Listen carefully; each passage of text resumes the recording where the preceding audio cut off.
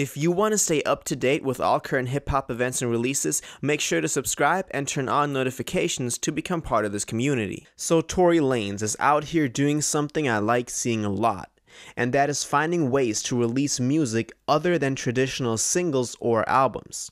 He does this by releasing so called capsules, and the first of these he dropped back in July and it was called the VVS capsule and featured two songs.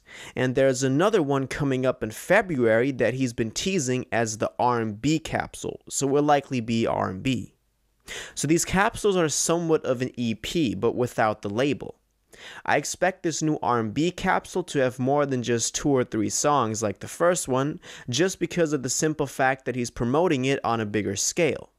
I think that the limits industry standards have set with only four main ways to release music, namely studio albums, EPs, mixtape, or singles, are outdated at this point. And I think it's great that people like Tory Lanez are pushing those limits. There are so many more creative and artistic ways to publish and release your music that I think it's very important artists always try to find new ways to do this, and that we question what we've been doing so far and how we've been consuming music so far.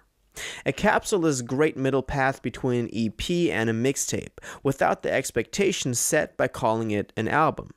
So I'm very excited to see what Tory has in store for us with this new R&B capsule, especially also because singing and doing music in an R&B style is one of his strengths.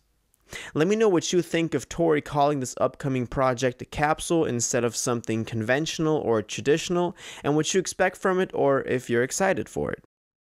If you watched this video to the end and liked it, and you want to stay up to date with all current hip hop events and releases, make sure to subscribe, turn on notifications, hit that like button, and go follow my social media and blog down in the description. It really helps me out.